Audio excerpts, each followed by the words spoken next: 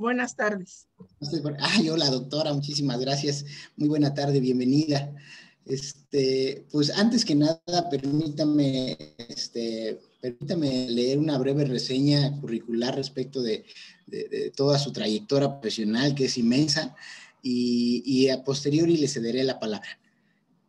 Eh, a continuación, eh, no, al contrario, doctora, muchas gracias a usted.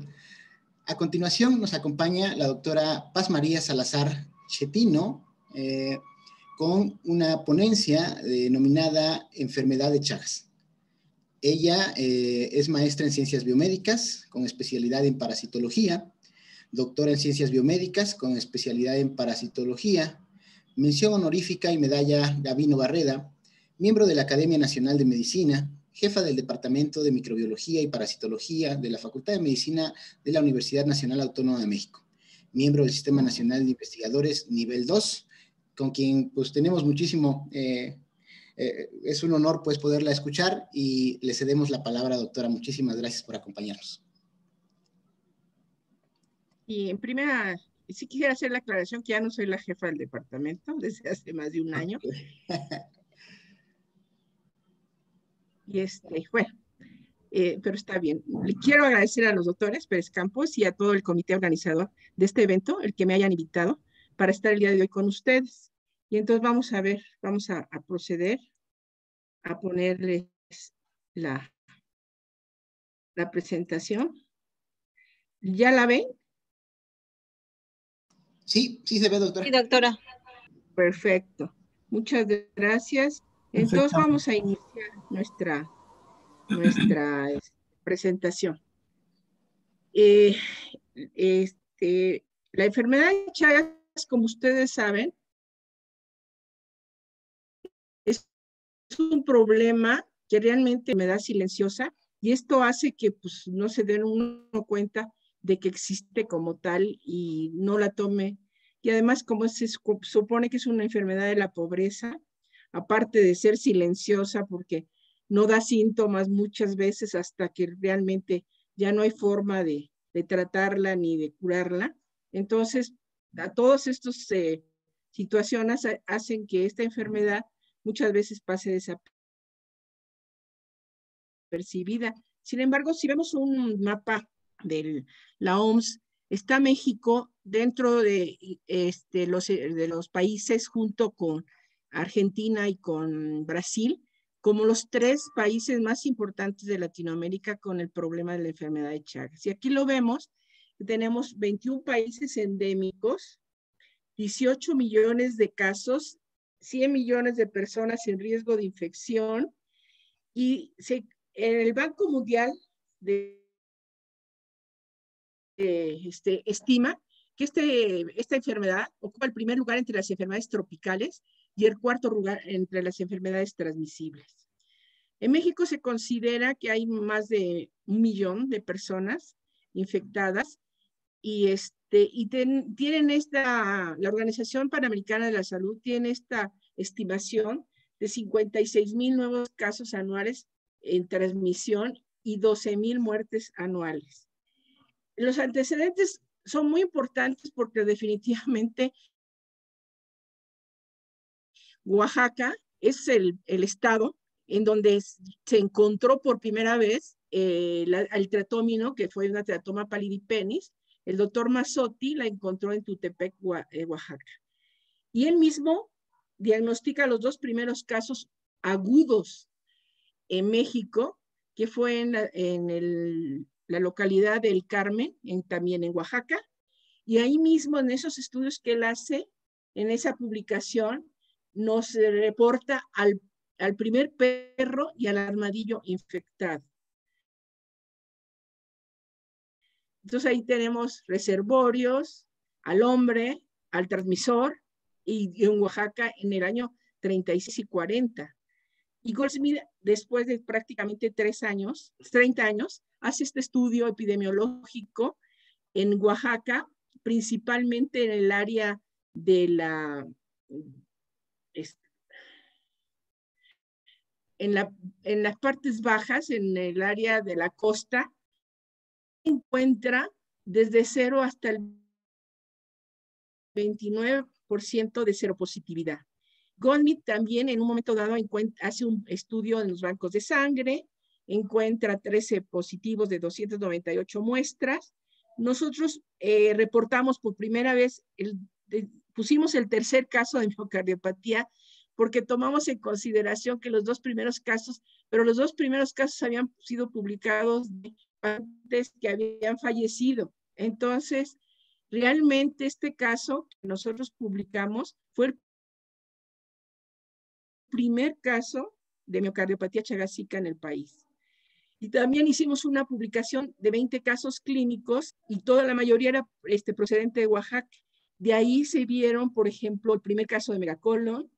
Este, este niño también este, fue eh, diagnosticado porque un alumno de medicina de nosotros fue a hacer su servicio social precisamente a Miahuatlán, donde yo había hecho eh, mi tesis de maestría, y él vio casos precisamente, estado todo un año, este, suficiente tiempo para ver a sus pacientes del servicio social y además estudiar la enfermedad. Y vio casos como este, de la, del casos eh, agudos. También el segundo caso de miocardiopatía chagásica infantil también fue reportado por él y, y el primer caso de megacolon. Entonces, todos eso, en un año este, este estudiante de, en servicio social fue capaz de ver eh, todos estos casos de la enfermedad de Chagas. Claro, era un médico que iba con la idea de encontrar la enfermedad de Chagas y la encontró. Entonces, otro antecedente que también nosotros tenemos es este estudio de eh, la encuesta epidemiológica, que lo vamos a, manejar, la vamos a ver más tarde, porque fue hecha en cuatro poblaciones y ahorita la vemos. Luego también comprobamos el primer caso de mega, megaesófago. Esta fue una paciente mujer del Hospital General de México. En 86, ah, esto es lo del Eutiveros, es el alumno que en un momento dado reportó 52 niños, 40, 46 positivos y también 14 donadores, 11 con fijación de complemento y reporta el primer caso de megacol en Miahuatlán. En el 87 vemos el estudio este, epidemiológico en reservorios y aquí encontramos este, nosotros el, gato y la ardilla. ¿Por qué? Porque el estudio, este estudio fue hecho en partes altas donde está teratoma barberi y teratoma barberi, como ustedes saben, es intradomiciliada. Y aquí encontramos que tanto la ardilla como el gato están dentro de las casas. Es más, las ardillas las tienen dentro de unas jaulas, en, este, colgadas en los techos. Y la ardilla fue positiva, ser el transmisor intradomiciliario. En el 89 hicimos el estudio cerebromágico. Este lo hicimos en Tlacochahuaya. Tomamos 50 jóvenes y de estos 50 jóvenes, el 20% fue serología, con serología positiva y lo, lo comparamos con 20 jóvenes de la Facultad de Medicina de la UNAM y por supuesto en un momento dado pues, se, ve una diferencia porque no encontramos ninguno en la Facultad de Medicina, mientras que en esta población de Tracochaguaya encontramos a estos 50 jóvenes. Luego, Serberger y este, hacen una encuesta clínico-serológica que es muy interesante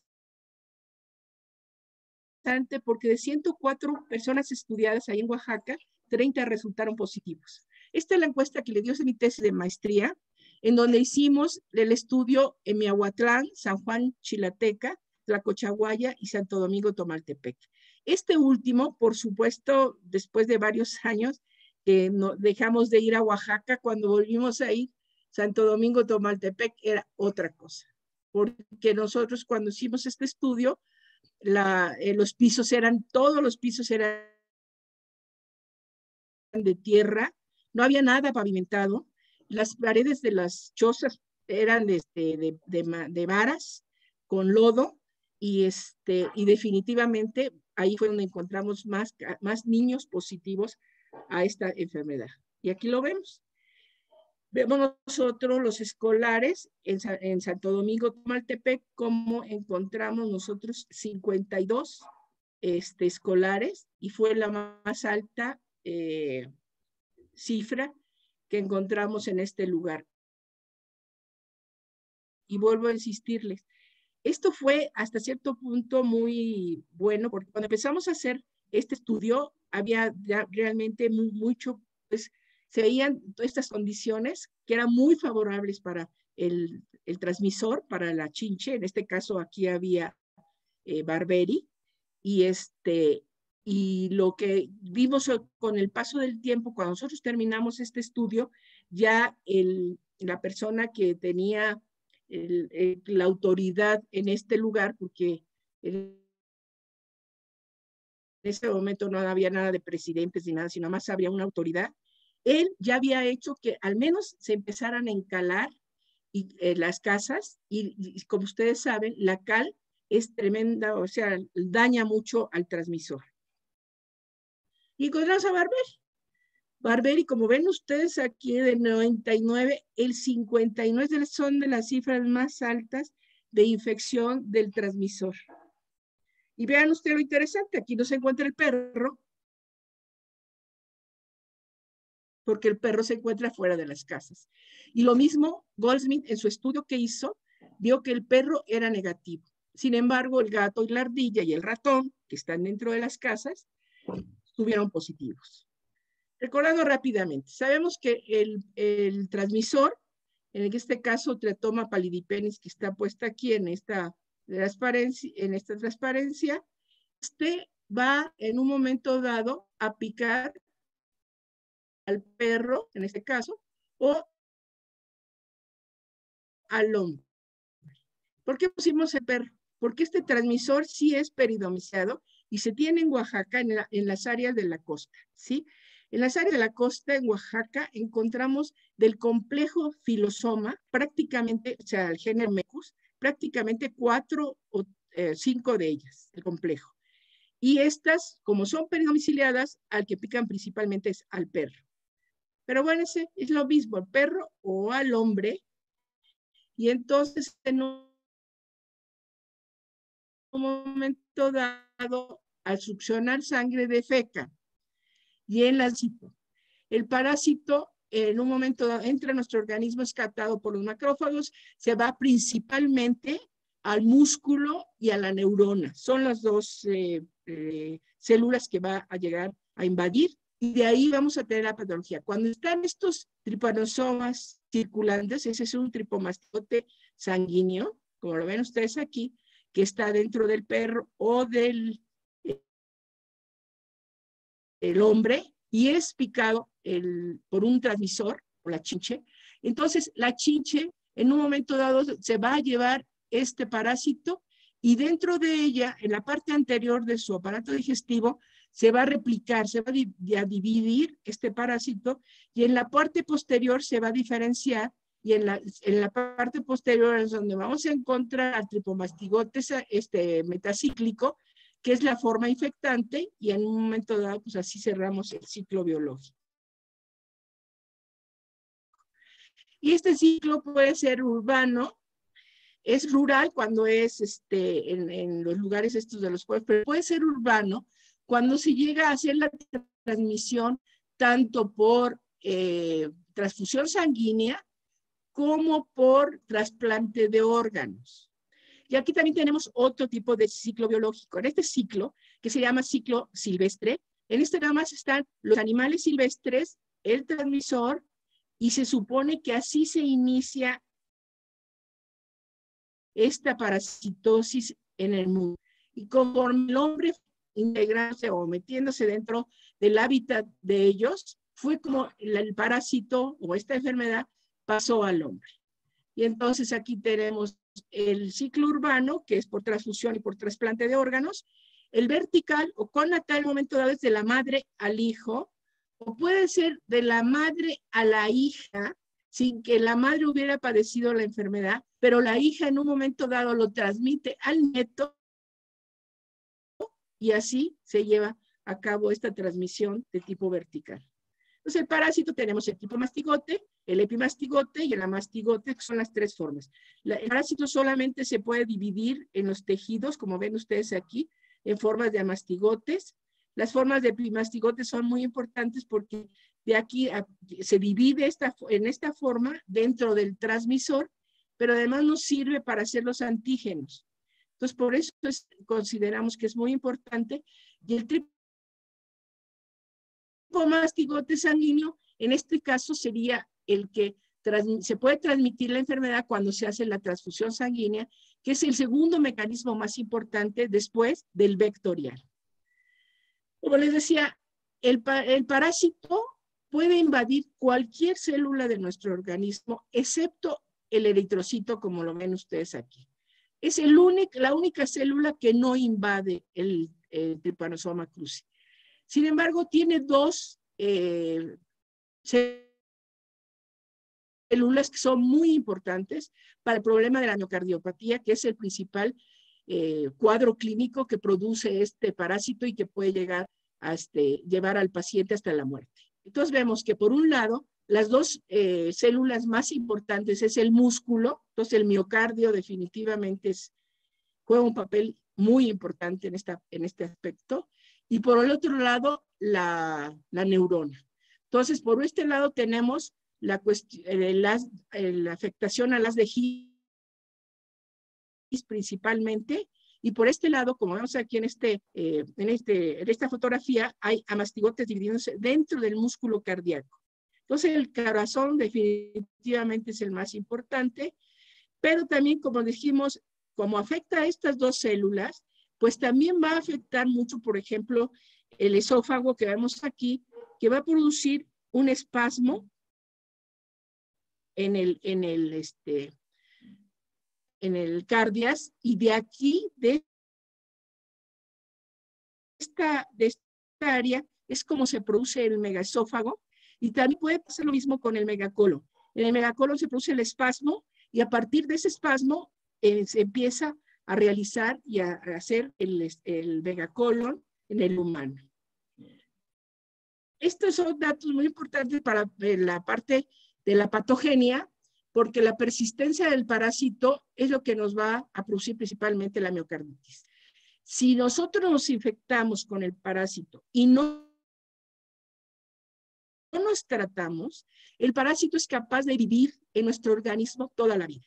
Entonces, es por eso que es tan importante en un momento dado que llegue a haber un buen tratamiento al principio. Pero bueno, aquí vemos que por un lado puede haber los desórdenes autonómicos cuando afecta a la neurona, destruyéndola. Entonces viene el parasitismo neuronal con degeneración y lisis, que es lo que nos va a producir las arritmias principalmente. Por otro lado, la respuesta inmune de la respuesta inmune y hipersensibilidad retardada, vamos a tener el problema de la autoinmunidad, que nos va a producir principalmente la fibrosis.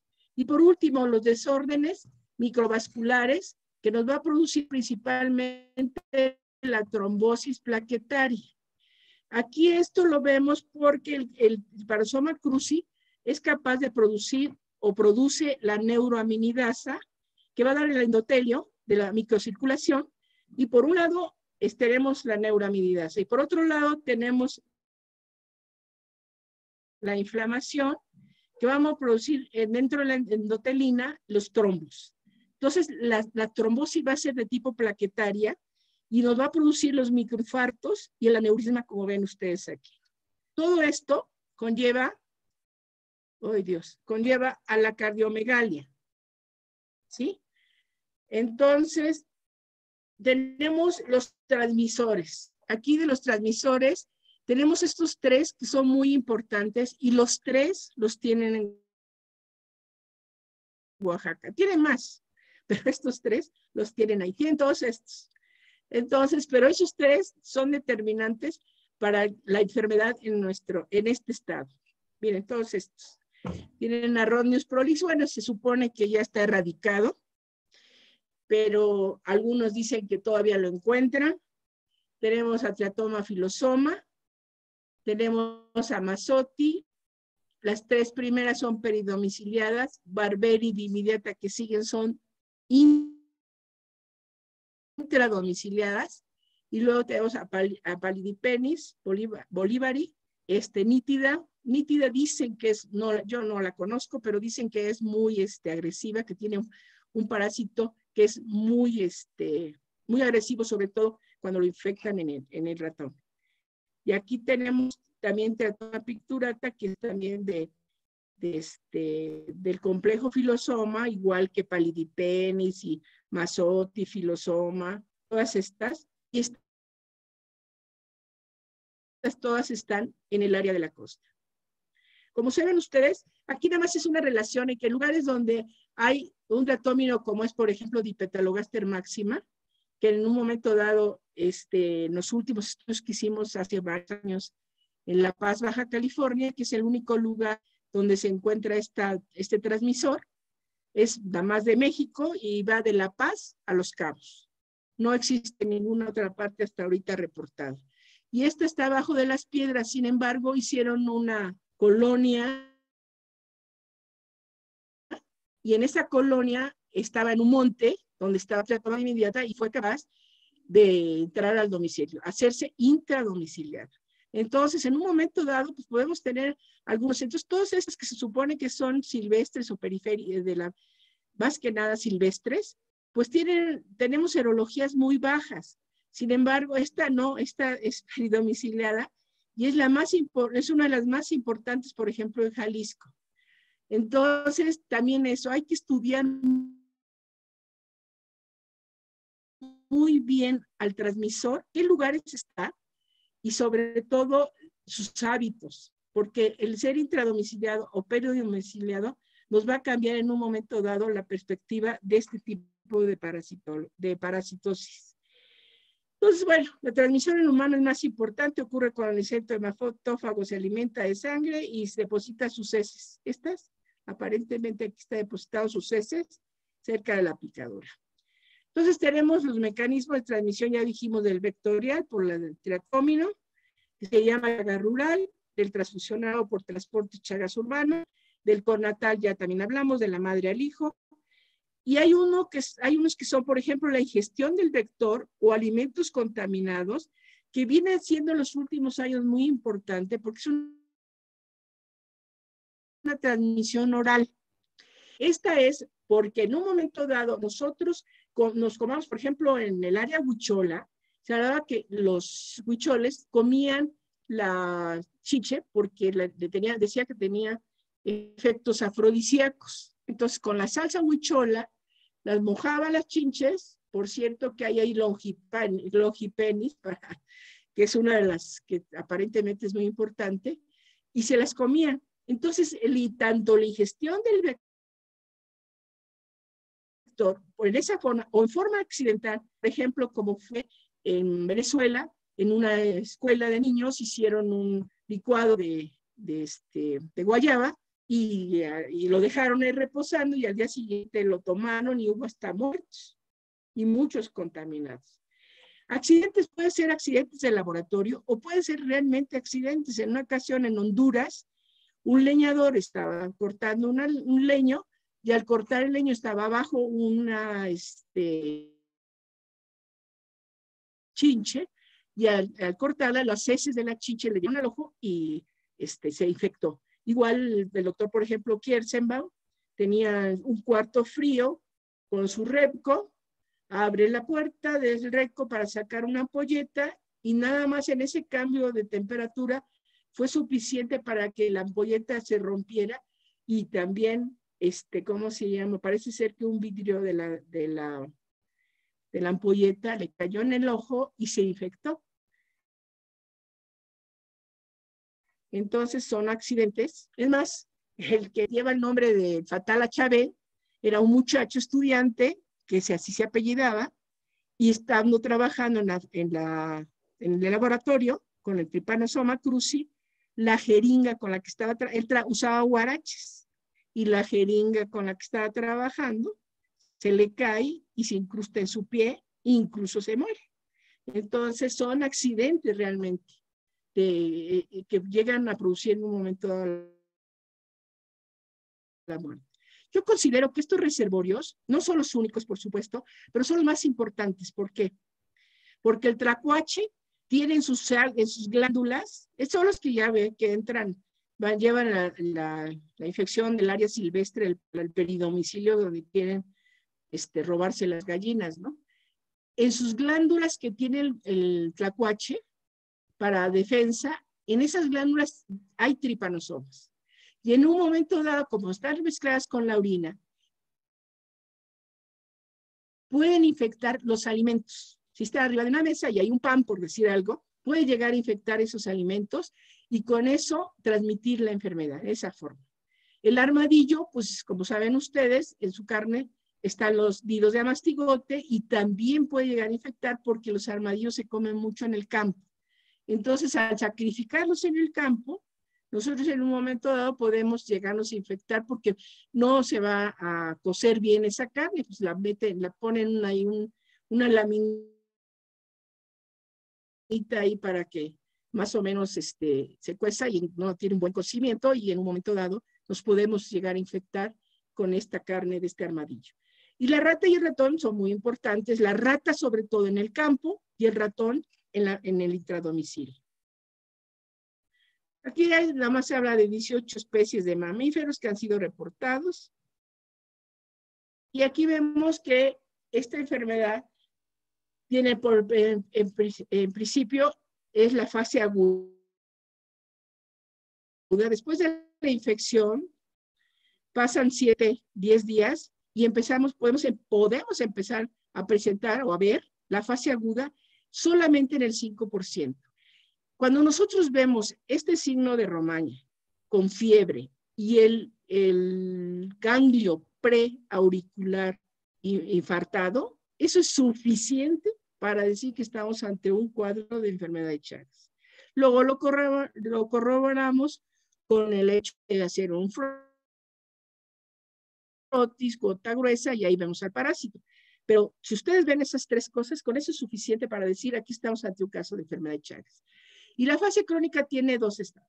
La primera es la sintomática, que antiguamente le llamaban indeterminada, y la otra es sintomática. Ahorita vamos a hablar un poquito, más adelante vamos a hablar de la miocardiopatía chagásica infantil y van a ver ustedes estas diferencias. Entonces, de la fase aguda, lo que les decía, fiebre y el complejo oftalmoganglionar, es suficiente en un momento dado para ver que estamos. Luego, el chagoma inoculación es en cualquier parte de nuestro organismo. Entonces, supongamos que, que la chinche picó y, este, defecó y entró el parásito en nuestro muslo, por decir algo, ¿no? Y entonces los ganglios que se van a infartar son los ganglios de la pelvis. Entonces con eso nosotros podemos empezar a, pensar en esta, en esta parasitosis. Pero todo esto en la fase aguda. La fase asintomática, normalmente en los libros se habla de 15 a 20 años. Yo al ratito lo voy a desmentir un poquito por lo de la miocardiopatía chagásica infantil. Es muy importante el antecedente epidemiológico, haber vivido en este tipo de lugares y tener la seropositividad en dos pruebas. Esto ya con esto nosotros decimos que está infectado. Pero vamos a decir que está enfermo cuando viene la fase sintomática. Y la fase sintomática sabemos nosotros que el corazón es el más importante, pero también puede haber en cualquier órgano hueco, excepto el sistema nervioso central. Pero todas las vísceras huecas realmente van a ser afectadas por los que les comentaba, porque afecta al músculo y, al, y a la neurona. Y, y aquí vemos, el, por supuesto, el sistema nervioso central es muy importante porque se produce la meningoencefalitis. Entonces, de la lo que tenemos principalmente en por el electro, vamos a encontrar una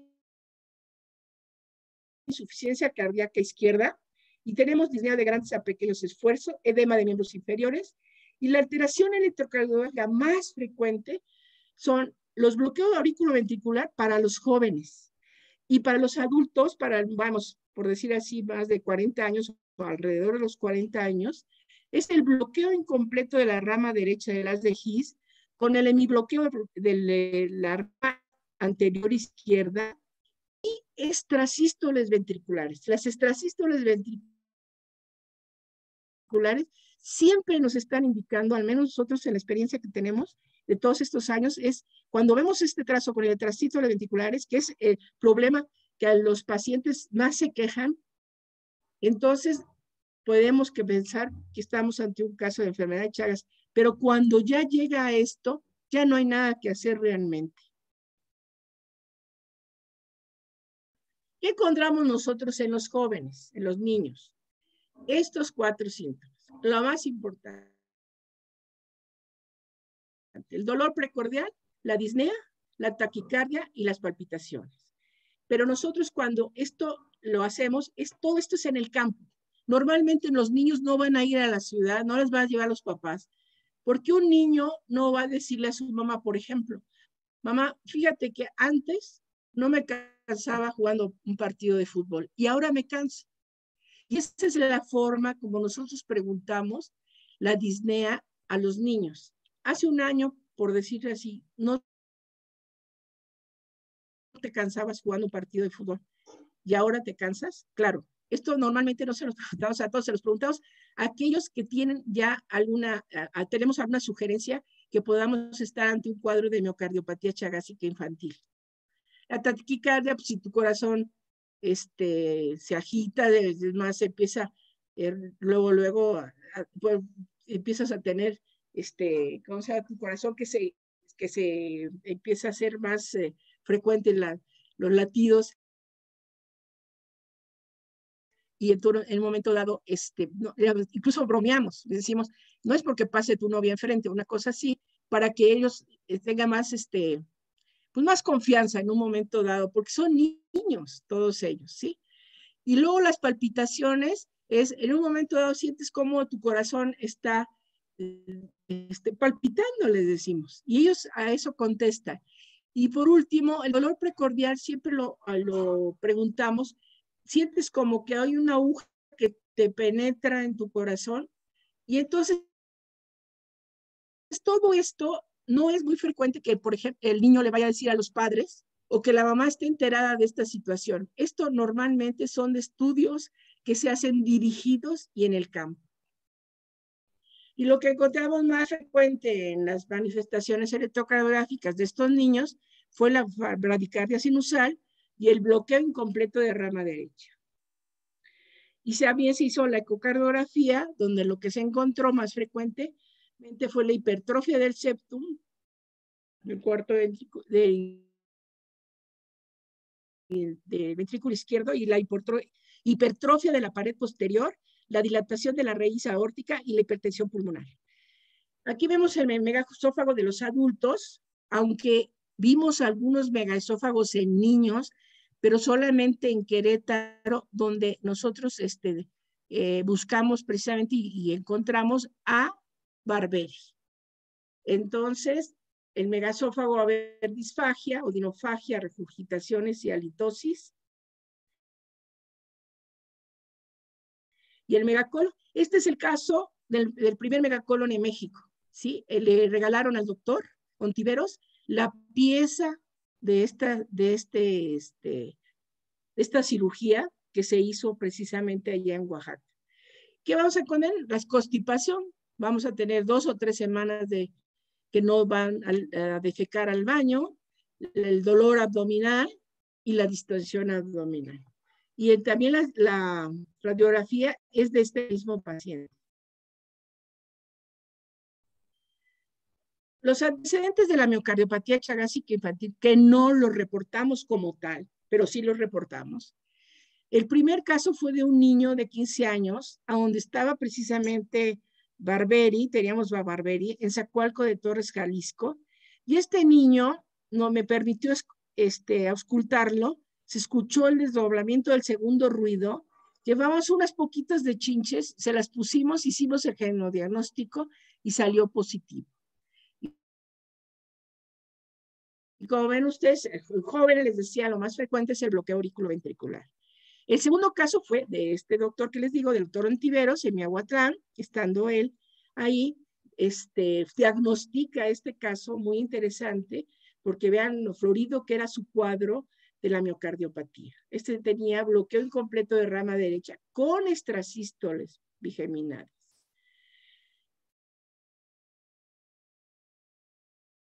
Después de varios años, varios años después,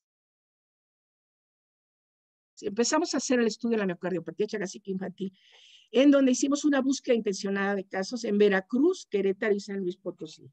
En Veracruz, gracias a la doctora Edith Rodríguez, que era la secretaria de Salud del Estado, nos dio todas las facilidades para que hiciéramos este estudio. Y este estudio es el único que se ha hecho en el país de todo el Estado, o sea, el muestreo de todo el Estado.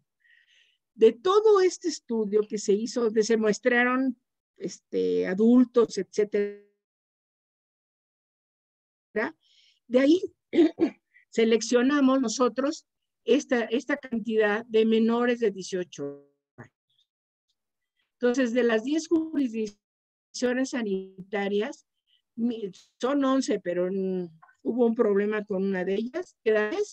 De estas 10, 1.544 menores de 18 años, en ellos se hizo el estudio y de los cuales 14 fueron seropositivos. En Querétaro fue otra forma diferente. Ahí también nos dijimos al secretario de salud que nos autorizó para que hiciéramos el estudio, pero aquí sí fue dirigido nada más a los menores de 18 años, de las cuatro jurisdicciones que componen el Estado. Y entonces nuestra epidemióloga, que es la doctora eh, Guadalupe García de la Torre, ella saca, sacó el muestreo tanto de Veracruz como de Querétaro. Y aquí tuvimos que el tamaño de muestra tenía que ser de 780 y gracias precisamente a todo el personal de vectores, tanto como de Querétaro, y luego vamos a ver de, de San Luis Potosí, fue posible que se hiciera este tipo de estudios. Entonces tenemos de 780, 11 fueron seropositivos. Y San Luis Potosí ya no fue al secretario de salud. Aquí fue la jefa de la jurisdicción 6, que es la de Tamazunchal, y ella nos, nos dio todo el apoyo al principio de este estudio solamente fui yo, todos los de tanto en Veracruz como en Querétaro, todas las que trabajan con nosotros en el laboratorio donde está la doctora Margarita Cabrera, la doctora Bucio, etcétera. Pero aquí al principio fui yo solita. Y entonces me puse en contacto con la, doctora, la doctora me dio todas las facilidades porque teníamos dos antecedentes que eran importantes. Uno, un estudio que había hecho la doctora Cabrera con una alumna de, de, licenciatura para ver los transmisores en este lugar. Y el otro era un reporte del INDRE donde decía que había muchos niños positivos con serología positiva. Ante esta situación fue cuando yo voy a Tabazunchale, empezamos a hacer los estudios de los niños que estaban reportados y por supuesto los de vectores me llevaban y subíamos cerros, bajamos, etcétera, pero eso se hizo al principio y después de ver que sí existía y que era muy importante, entonces planteó la posibilidad de hacer los estudios en las escuelas. Y entonces Hicimos el estudio en una primaria con 212 alumnos, en una secundaria con 368 y bachilleres. Y aquí le quiero comentar que este tipo de estudios así los hace en Argentina. De aquí tuvimos 28 seropositivos con el 2.2%. ¿Qué hacemos nosotros en el campo? Hacemos un tamizaje de las muestras en papel filtro como lo ven ustedes ahí, la sangre tiene que abarcar más o menos un centímetro cuadrado y tiene que pasar la sangre del otro lado del papel. Una vez que tenemos los positivos en esta, por la este, micro ELISA que hacemos en el laboratorio, todos los que salen positivos a los anticuerpos reactivos a, anticuerpos a, triparosoma cruzi, Hacemos entonces la confirmación en suero y, por ejemplo, en, en, este, en Tamazunchale, yo lo que hacía era llegar el, el martes, el martes me iba al campo y tomaba las muestras y el jueves me hacía favor una química que tenía su laboratorio particular de que los pudiera yo centrifugar y ponerles la misma cantidad, eh, solución al mismo, a la misma cantidad de este, glicerol. Y con esto se conservan, no hay problema de quemar por el estilo. En esa forma se pueden conservar varios días, ya después se tienen que meter a, a refrigeración. Entonces, yo los llevaba, yo me iba el jueves en la noche desde Tamazunchale a México en camión, y ahí el viernes ellos procesaban todas las este, muestras que yo llevaba. Y en esa forma, este, hicimos eh, eh, la, la primera parte, pero ya la otra, perdón, me voy a regresar, para el estudio de la primaria, secundaria y bachiller, por supuesto que fue todo el equipo de laboratorio. Bueno, entonces se llenaba el cuestionario en las historias clínicas ad hoc y, se hacía, y hacíamos el estudio de búsqueda de triatóminos intradomiciliados. Eso principalmente lo hacía el, este, ¿cómo se llama? el biólogo Mauro, que es el que está encargado de las triatomas. Entonces, hacíamos el serodiagnóstico con ELISA e IFI. Y si teníamos una, este, una que no fuera concordante, entonces se, hacía el Western Blot precisamente para, para este, ¿cómo se llama? Para poder tener una positividad y ver si realmente eran positivos y no, dependiendo de las bandas. Ahí hay una media controversia en el número de bandas, pero bueno, algún día nos pondremos todos de acuerdo, porque unos dicen que tienen que ser cinco bandas, otros que pueden ser una, y entonces está la literatura está muy... Nosotros tomamos en consideración en una ocasión, este, normalmente la autora Bucio, que es la que maneja todo esto, ella normalmente habla de las cinco bandas, pero en una ocasión sí, este, yo me puse precisamente una paciente de, de, de San Luis Potosí que tenía todos los síntomas, todo todo, y que había sido tratado y que la serología sea negativa. Entonces tuvo dos bandas y yo dije, con estas dos bandas. Y luego vimos todas las complicaciones, etcétera. Bueno, a ver si nos da tiempo de comentar esto. Y aquí vemos nosotros que sacamos eh, para el estudio de este universo, o sea, tomamos 28 menores de Tamazunchale, dos de Veracruz y de Querétaro, la jurisdicción 1 y 2, donde encontramos a todos estos menores. Quisiera comentarles que en la condición 1 y 2 está Barbetti y en la 4 está Dimidiata. Pues en la Dimidiata, el, perdón, en la 4 encontramos Nibucas. Todos los casos de Querétaro los encontramos en la 1 y en la 2. El electrocardiográfico, la el estudio convencional de las 12 derivaciones y, este, este estudio este, lo hicimos en el campo, tomamos, tenemos un electrocardiógrafo, con electrocardiógrafo portátil, lo tomamos en el campo, pero las interpretaciones las hizo el doctor Zamora en el Instituto Nacional de Cardiología. Desgraciadamente ya ahorita ya se retiró desde hace algunos años y bueno, y la ecocardiografía fue hecha ahí en el instituto, esta sí, eh, llevábamos a los pacientes y ahorita sí quiero hacer una aclaración al respecto. Eh, el estudio de, de, la ecocardiografía fue hecho por la doctora Clara Vázquez en el Instituto Nacional de Cardiología. Yo aquí sí quisiera comentar lo siguiente. La inexperiencia que teníamos nosotros al respecto, no nos dimos, yo, yo en lo personal no me di cuenta de cómo podemos traer a un paciente de que está en, la costa, entre 0 y 15 metros sobre el nivel del mar, a la Ciudad de México, ¿sí? Con los de Querétaro no había problema, pero con el Veracruz y con los de San Luis Potosí, claro que hubo problema.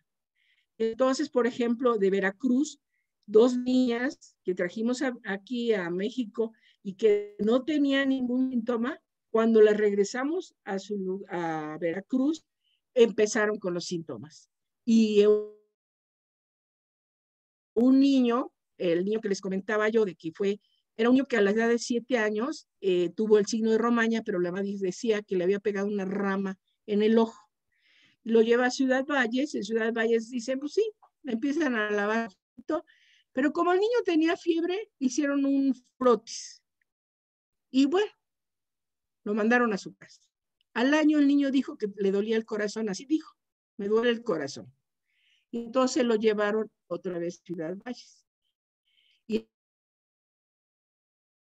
estando en Ciudad Valles, le dice, lo vieron los, doctores, y dice, ¿no será este el que vino hace un año y tiene tripanosoma cruzi en el, el frotis? Entonces se tardó un año para que le dieran el tratamiento. Le dieron el tratamiento. Y es ese niño el que salió con la serología negativa y que tuvo nada más dos bandas en el inmunoblot, en el Western perdón, y este, ¿cómo se llama? Y lo, bueno, lo trajeron aquí a México, pero la, doctora Clara, la de ecocardiografía, dijo, sí, sí tiene, tráigamelo otra vez. Y cuando lo traen la segunda vez, el niño ya venía con hemiplegia. Entonces había tenido una trombosis en la arteria media cerebral y el niño estaba en muy malas condiciones. Dos veces lo sacaron de paro, le pusieron un marcapaso y más o menos estaba bien. Lo mandan otra vez a, a Tamazule y dice que regrese en tres meses. Cuando regresen tres, a los tres meses, lo ven y aparentemente estaba bien, pero al estar de regreso en Pachuca, ahí falleció. Entonces, para que nos demos cuenta que no podemos traer a cardiópatas a la Ciudad de México a estudiar. Eso es definitivo. deben de estudiar en donde están, en su lugar. Es, bueno. Entonces, estos cuatro,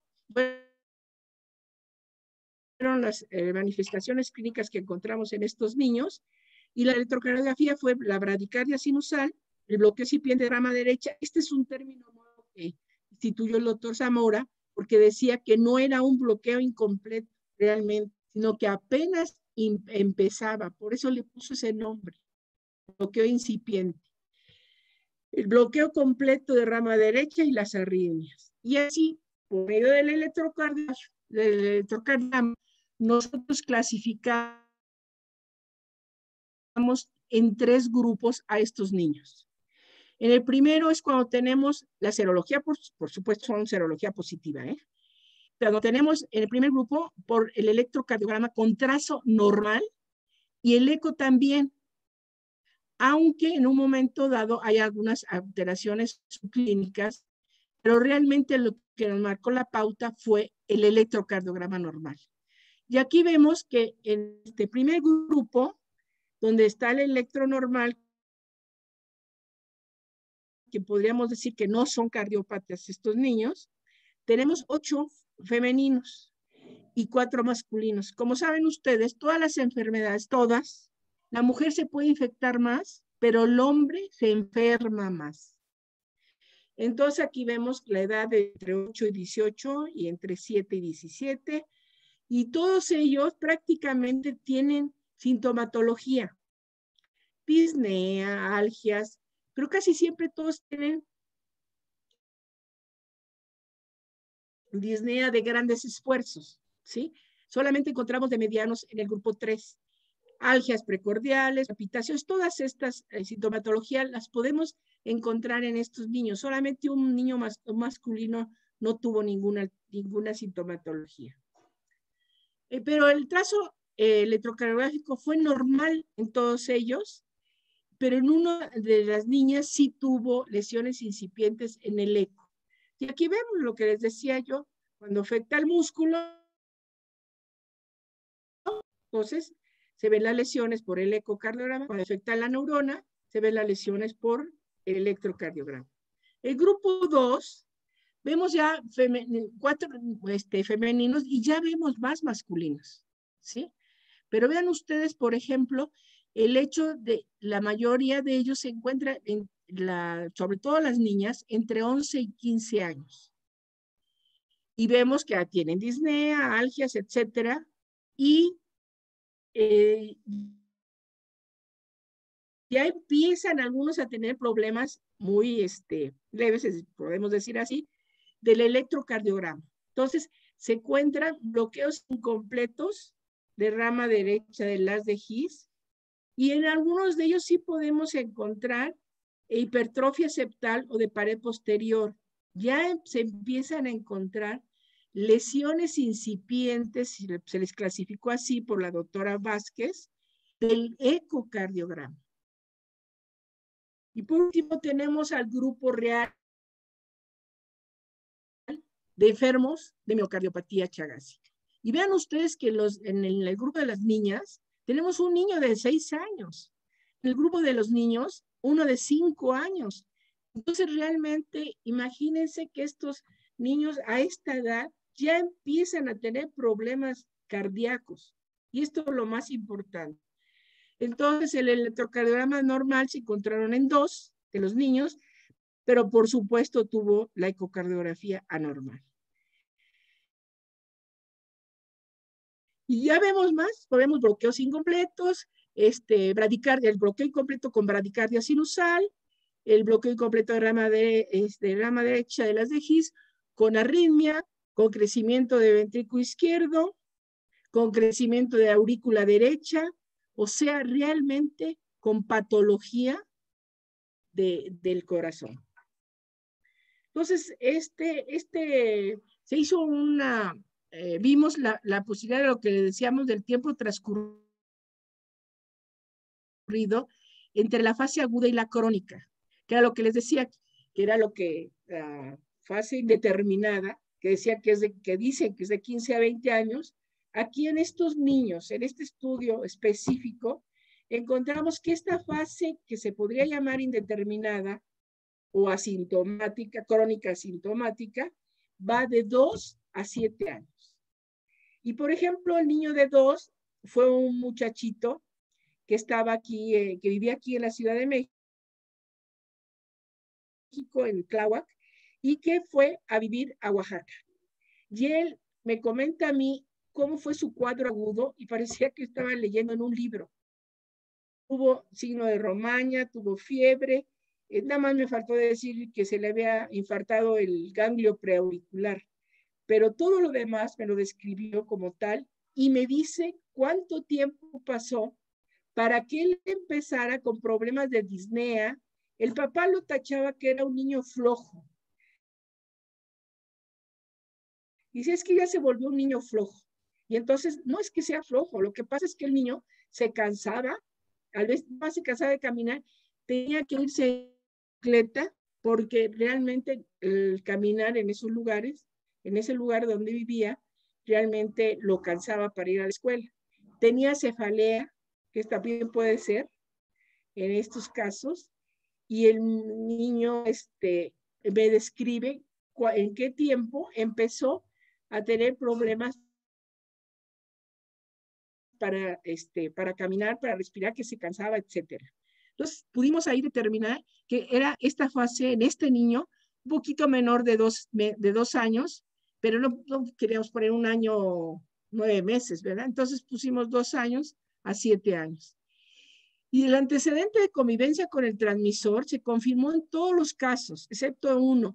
Y este, este hecho de convivir con el transmisor o de conocerlo es uno de los factores de riesgo para, para este, los laboratorios de transfusión sanguínea o los centros, perdón, en donde si el individuo conoce a la chinche, definitivamente no les traen la sangre. Entonces queda eliminada esa sangre. ¿Qué, podemos concluir?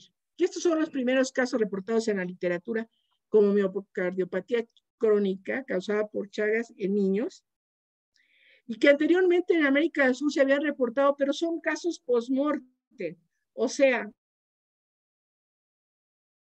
que son casos de niños en donde el, el hecho de que hayan tenido la enfermedad de Chagas aguda se puede complicar y nos puede dar casos de una eh, cardiomegalia aguda y muerte o de una meningoencefalitis. Pero esos son casos de complicaciones de la fase aguda, que son muy diferentes al hecho de que tengas ya un cuadro crónico, como son en este caso, en estos casos. Y entonces aquí lo explicamos anteriormente solo se había reportado complicaciones de la fase aguda, miocarditis, pericarditis, pancarditis y meningoencefalitis. En este año fue muy importante porque se hizo una, una reunión de la ONS-OPS y de la Secretaría de Salud donde nos invitaron y se hablaba que en este caso que el control iba a ser precisamente sobre los dos transmisores intradomiciliados, para teatoma de inmediata y para teatoma barberi. Y que sí iba a ser un estudio serológico de niños entre 0 y 5 años, a lo cual yo les dije, yo creo que no van a encontrar nada. Y sí, no encontraron, pero bueno, después ya se hizo otra cosa. Pues muchas gracias, muy amables por haberme escuchado.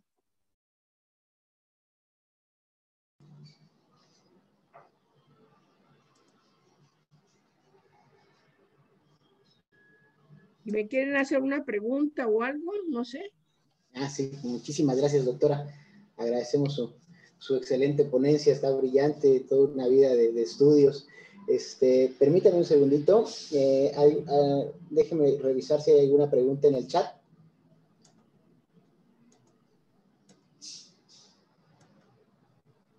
¿Alguna pregunta para la doctora María Salazar?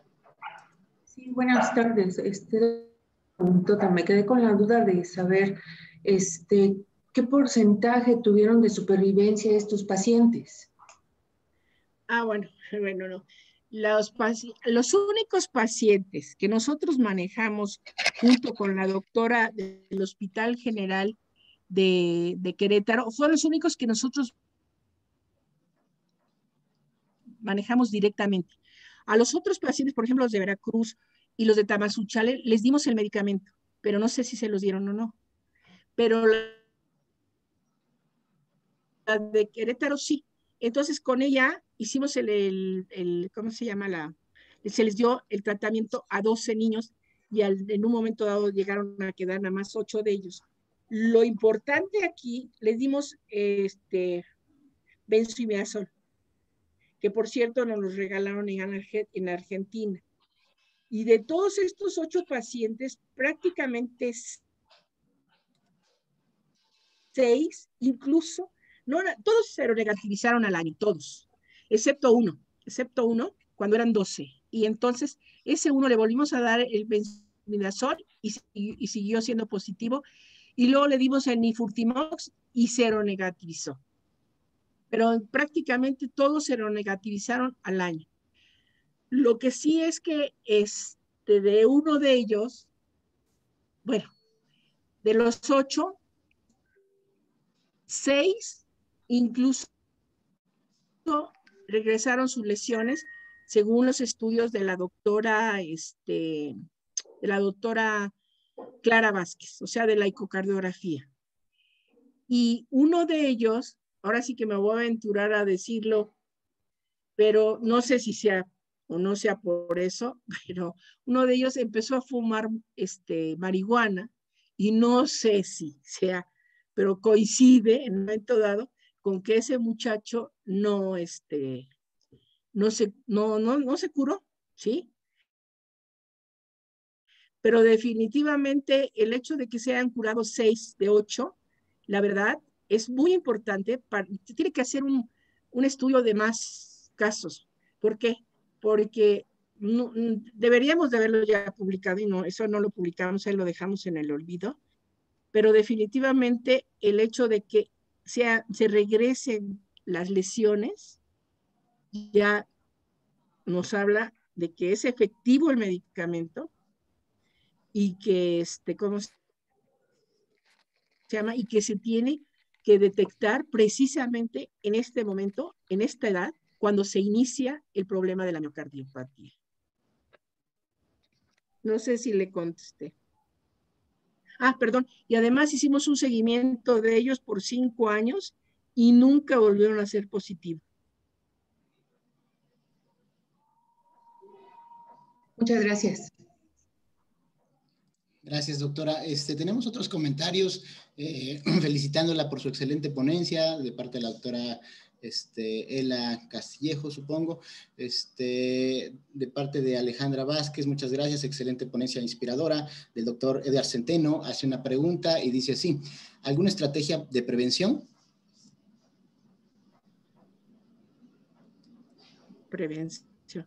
Bueno, hemos estado platicando, eh, eh, nosotros siempre hemos buscado a la Secretaría de Salud en todos los aspectos.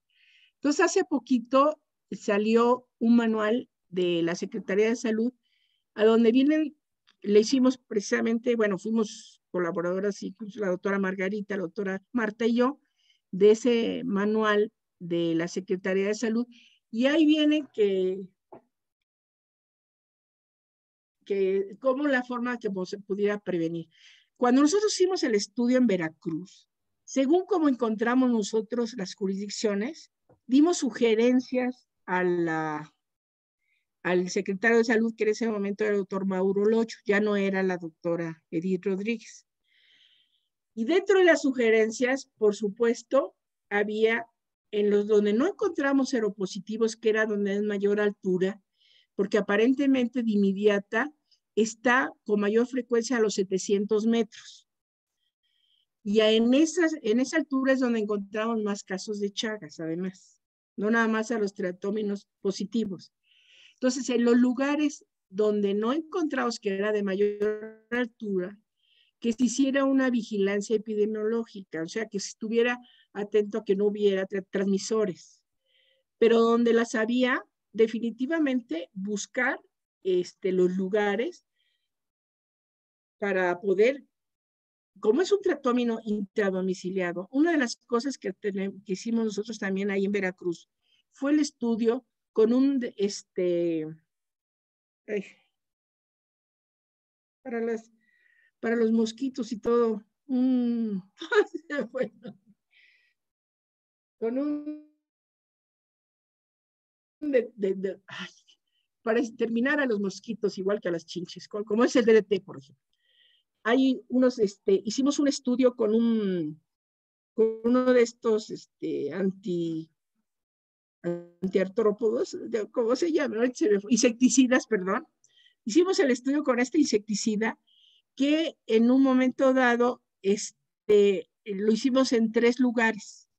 Y lo, que, lo que llegamos a ver precisamente es que este insecticida sí funcionaba en un momento dado en estas localidades, pero se dejó de utilizar, etcétera. Entonces, esta es una de las formas como nosotros podemos atacar. Y también con la limpieza de las casas se puede prevenir. ¿Por qué? Porque los transmisores, los transmisores, por ejemplo, tienen, era lo que les decía, hay que estudiar bien el transmisor para poderlo atacar.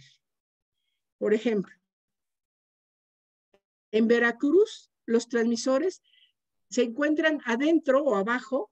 Ahí, por ejemplo, toman, hacen unas especies de cuadros de de madera que sirven como si fuera la parte de la cama, por decir así, pero esta, estas son huecas, por, por, supuesto, y están sobre tierra. Entonces, la, eh, la chinche de inmediata en Veracruz es de tierra. Entonces, nosotros lo que tenemos que hacer y lo que promovimos en Veracruz fue el hecho de que este, eh, teníamos el problema del piso firme. Y eso fue lo que nos dijo el doctor, eh, el doctor Loyo, que por el estudio que nosotros hicimos en Veracruz, se había hecho el programa de piso firme, que se inicia en Veracruz y luego se hace a nivel nacional con el, con el presidente Calderón. Entonces, en algunas poblaciones se hicieron este, este, este programa del piso firme, pero había momentos y que además hacían un determinado, este, en una determinada área. Y entonces quedaban a veces la parte de la orilla, quedaba a la pared sin cubrir, y ahí es donde se encuentran las triatomas. Entonces, por eso les comento, tiene que haber un buen programa y en este caso, también, por ejemplo, nosotros en este estudio del insecticida que hicimos, lo hicimos sobre paredes, por ejemplo, por fuera y por dentro, por dentro, en las partes bajas de las paredes, ¿sí? Y que se hiciera la, la, este, la cementación del piso. Entonces, ¿por qué? Porque esta teratoma es de piso y no es lo mismo que Barberi, porque Barberi es de pared y se encuentra precisamente a la altura de las camas, donde están las camas. Entonces, ahí es donde hay que poner el insecticida o repellar esas paredes o poner cal. ¿Sí? Y hay otro, otro que es de techo. ¿Sí? Entonces, por eso es que hay que hacer un buen estudio para poder, este, en un momento dado, de, eh, pues, atacar a este, a este, a esta, sobre todo al transmisor, ¿no? Entonces hay muchas formas, no sé, Edgar, si te, si quieres que te diga yo algo más o ya me fui por la tarjeta.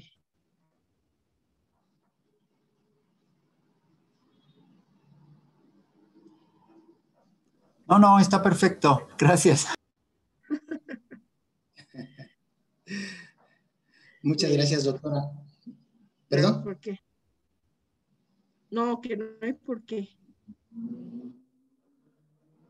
Ok, eh, tenemos este, agradecimientos por parte del doctor Gabriel Mayoral. una pregunta de parte del doctor Eduardo Pérez Campos. Dice, ¿tiene publicado los datos de cardiopatía chagásica en niños? Sí, por supuesto. Tengo dos, tenemos dos artículos. Tenemos el primer artículo que, este, ¿cómo se llama?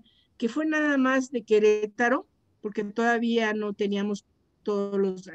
Bueno, me voy a, confesar. Yo tengo un hijo que es estadístico. Y entonces a mí se me hizo muy fácil llevarme todos mis resultados. Él está en Oxford. Y dije, bueno, pues voy con Rafael para publicar todos los resultados y bueno, va a ser una revolución de la ciencia en el mundo, ¿no? Y llego con él y me dice, no, mamá, no podemos publicar esto. Oye, pero ¿por qué? Pues porque esto lo hiciste en esta forma, ¿se acuerdan que les comenté? Que hubo tres formas como manejé una en Veracruz y era diferente en cierta forma. El muestreo. Y me dijo, solamente vamos a poder publicar cuatro este, pacientes de, eh, de este Querétaro. Y entonces tenemos una primera publicación de Querétaro de cuatro pacientes nada más. Pero tenemos una segunda, gracias a Edgar, ¿sí? Porque no, no nos las querían aceptar en América del Sur. Y entonces dijimos, pues ahora vamos a, a publicarla en Japón. Y todo el mundo me decía, ¿por qué Japón? Pues porque ahí no hay chagas, entonces no hay competencia. Y efectivamente, ¿verdad, Edgar? Nos las publicaron en Japón, en el Tohoku. Entonces tenemos dos publicaciones. La de esta que les presenté ahorita con los tres cuadros, esa es la, la, la, de Japón, ¿sí? Pero sí están publicados. Ahí tenía la referencia.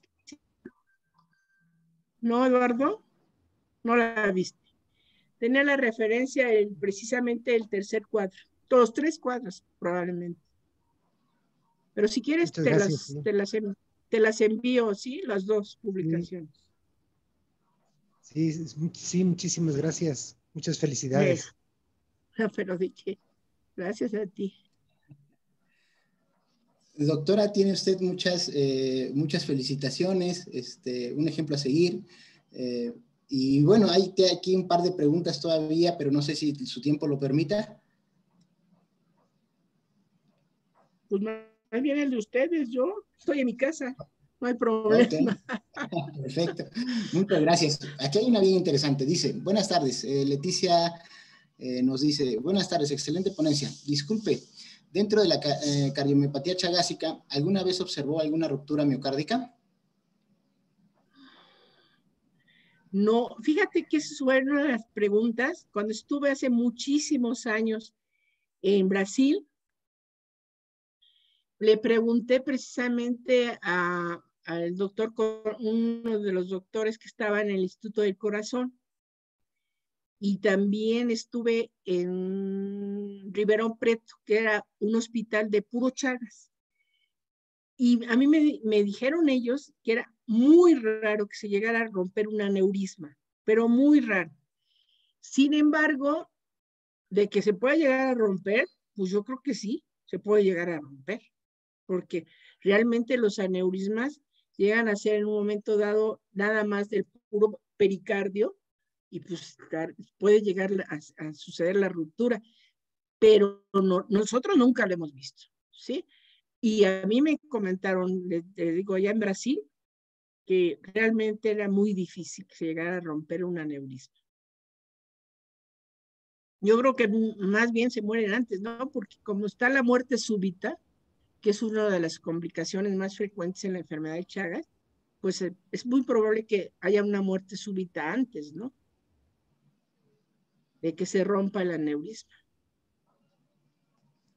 Gracias, doctora. Este, eh, aquí hay otra pregunta. Nos, Cintia dice, buena tarde, doctora. Una duda, ¿existe el contagio de humano a humano? Por ejemplo, saliva, sangre u otros fluidos. Mm, nunca se ha demostrado. Porque sí se decía, hay por ejemplo algunos tripanosomas que se transmiten a través del, acto sexual, o sea, de la, de la copulación, pero no, realmente no se ha visto ninguno de esos. Se ha, se ha hecho en forma experimental, ¿sí? Pero no se ha demostrado que en el humano pueda llegar a pasar eso. Pues mucho menos por la saliva y por, y por las lágrimas. Dice Alejandra, no soy eh, del área médica, sin embargo aprendí eh, mucho sobre el tema, muy interesante. Muchas gracias por su presentación tan didáctica. Este, gusto conocerla, no había escuchado de usted, pero es, bueno, está, muy contenta de haberla conocido. Eh, doctora Ela Castillejos, un ejemplo a seguir para superarnos como mujeres en medicina. Eh, el doctor Edgar Centeno, eh, la doctora Salazar, es todo un ejemplo de capacidad científica y esfuerzo para aportar el conocimiento médico. En apenas 50 minutos sintetiza toda una vida que ha permitido formar a muchos estudiantes. Eh, ahora bien, el doctor Abril María tiene otra pregunta y dice, en la enfermedad crónica, ¿será posible su detección por medio de PCR en sangre? Yo creo que sí es posible, pero es muy difícil. ¿Por qué? Porque tiene que estar el parásito. Y no, lo que les comentaba yo hace un rato es que el parásito puede estar en nuestro organismo, pero normalmente no, no esté, en la fase crónica no aparece como, tal. No, no anda circulando, ¿sí?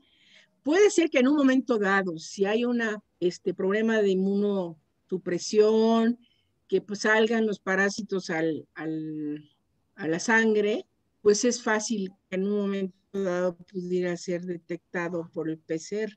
El PCR nada más lo recomienda, sobre todo la OMS o PS, para los recién nacidos, para la transmisión este, trasplacentaria o, o con natal, ¿no? En el momento del nacimiento, con la sangre de la madre, que este, puede estar infectada, puede infectar al niño.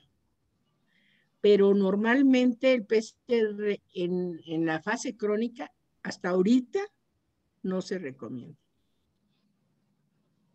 Gracias, doctora. Este, una pregunta, comentario que hace María Eugenia Sánchez León. Dice, doctora, precisamente en estos días escuché que las gallinas son empleadas como barrera de las chinches en las casas, pero me quedó la duda si en, si en verdad estas aves no se infectan. Sí, definitivamente. Las aves, no nada más la gallina, cualquier ave no se llega a infectar.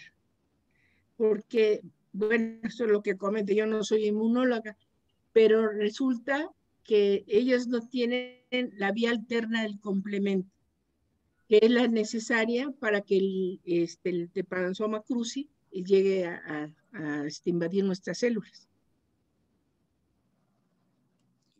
Muchas gracias. Y ah, por último, dice Araceli Guerra Martínez, maravillosa intervención, felicidades por su arduo trabajo. Le quiero... Y serían todos los comentarios, doctora. Perdón, nada más. Sí, sí, por favor. Le quería comentar. Es muy interesante lo de la barrera de las, de las gallinas, porque efectivamente este, era una forma como las, las están empleando en algunos lugares. El problema viene de que aunque la gallina no se infecte, pero el hecho de que haya gallineros hace que los triatóminos aumenten en, número de, de, triatóminos. O sea, se reproduzcan. El hecho de que haya un gallinero, llegan las, los, triatomas y sí se llegan a alimentar de la sangre y aunque no le infecte, pues se reproducen ahí los, las triatomas. Entonces es contraproducente ese hecho, eso ya lo demostraron. Ahorita no recuerdo exactamente, pero parece que fue en un país centroamericano que empezaron a hacer esto. Dijeron, no, pues como no se infecta, vamos a usarlo como barrera. Y sí, cuando se dieron cuenta, había una reproducción de triatomas que aunque no se infectaban con las gallinas, pero sí entraban luego a las casas a infectar a, este, ¿cómo se llama? si hay un infectado dentro de las casas, pues se empiezan a infectar todas ellas. Lo que siempre he tenido curiosidad de trabajar y nunca lo he hecho es este, triatomas positivas, triatomas positivas, que se lleguen a alimentar con el, la sangre del ave para ver si la sangre del ave destruye al parásito dentro de ellas. Eso, eso es un trabajo que siempre he querido hacer desde hace muchísimos años y nunca lo he podido hacer. Pero a lo mejor algún día. Seguramente que sí, doctora. Este, por el momento son todos los comentarios. Eh, y bueno, finalmente, a nombre de la Facultad de Medicina y de todos los eh, involucrados en la coordinación de este, de este congreso, pues queremos agradecerle este, y le voy a compartir por aquí. Este, tenemos su constancia, este, en su momento se la haremos llegar este, vía electrónica, y dice así.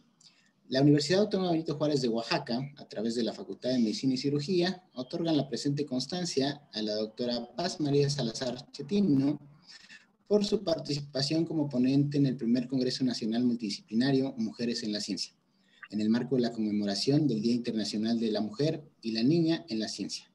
Muchísimas gracias, doctora. Fue un placer haberle escuchado. Gracias a todos ustedes y principalmente gracias Edgar por tu comentario. Muy lindo. Pues muchas gracias, de veras. Gracias, doctor.